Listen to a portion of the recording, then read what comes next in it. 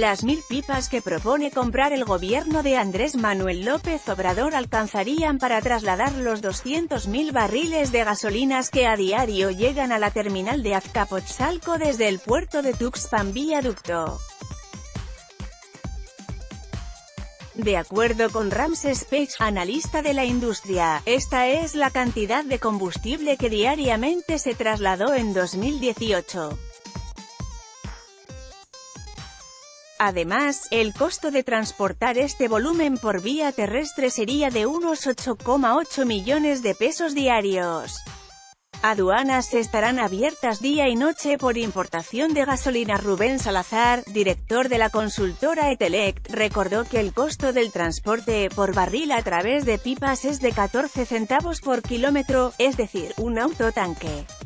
de 30.000 litros al que le caben 188 barriles en promedio, tendría un costo de alrededor de 8.300 pesos para trasladarse del puerto de Tuxpan a la terminal de almacenamiento de Pemex en Azcapotzalco.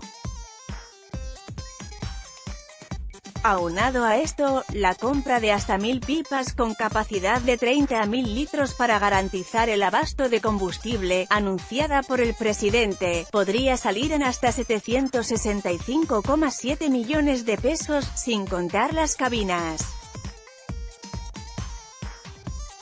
El Sol de México solicitó una cotización a la empresa Frehauf sobre el costo de estos tanques, y la respuesta fue que el de 30.000 litros, de acero inoxidable y con garantía de un año, tiene un costo de 765.700 pesos por unidad. Finanzas costará 23.000 MDP frenar el huachicoleo El costo de la estrategia federal es todavía complicado de calcular, indicó Salazar, ya que no se tiene determinado el tiempo que durarán las medidas, el monto de la renta de 3.500 pipas al sector privado y la inversión por la custodia de estos vehículos. Si la estrategia se mantiene un mes más, si sigue durante todo el mes enero, esto va a ser más caro que el propio robo de combustible, apuntó.